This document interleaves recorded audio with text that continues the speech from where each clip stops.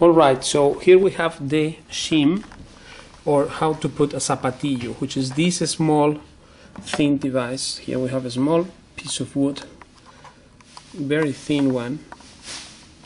We can use this for the saddle, for the right hand saddle, and then we can also use this other one or for the left hand saddle if we need to raise for example let's say the left hand the left hand here we have the head right? And then this goes here but as it is wood and it, it probably will wear off then of course in time right? But suppose three years after or something then you need to use a shim like this one like this one here small piece of wood. What we will do is very simple procedure which is this thing here. This is the knot. We have the left hand saddle. And then here right here we will place this shim. This is the shim or zapatillo this thing. It's very very thin one millimeter up. So I will put this put the shim there place it and then place the the, the saddle. That's all very simple thing. And here we have now a little bit more.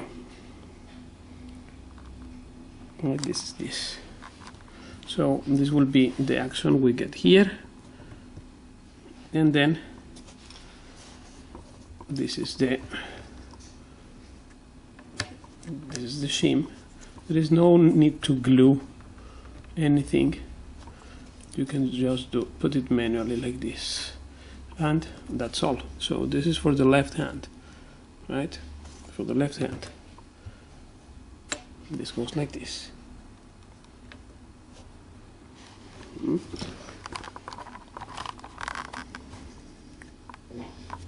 correct. So we have left hand. And now let's see about the right hand.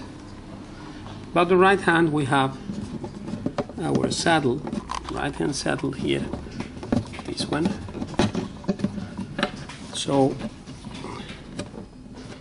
here we have this action.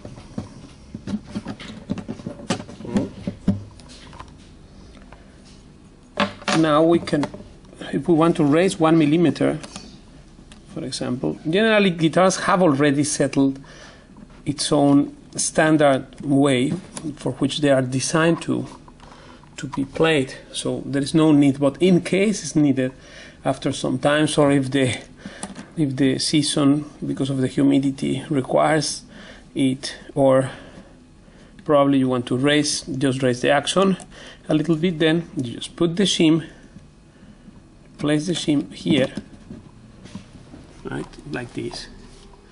And then now we put on the saddle.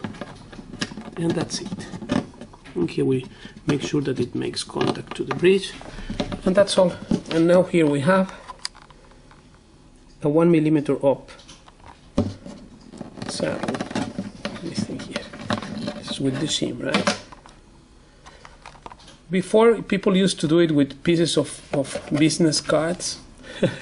But you could also use a small piece of pick guard like this this uh, thick pick guard and I will show you also how to do that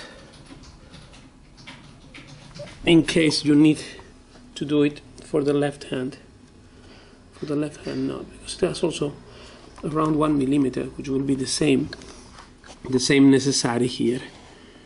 Yeah. so this instead of this. Of course this is the second best option. It's just an emergency thing right? In case you don't have the wood. And then that's it. It will be like this. Right? The ideal way however will be with with wood. Like this. Right? And same for the for the right hand. Same thing here. So this is how to raise the action one millimeter how to put the zapatillo or a shim on it's an easy advice this for the magazine this thing. Right, I could use also this one.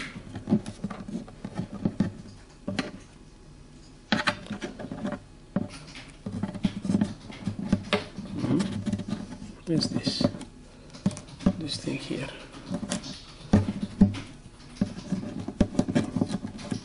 Right, only in case it's necessary. So that's the shim.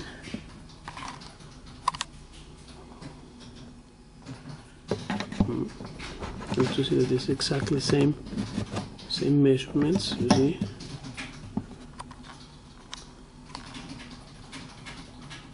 And then that's all. You put this and here action is rest. Okay, thank you very much. See you next time.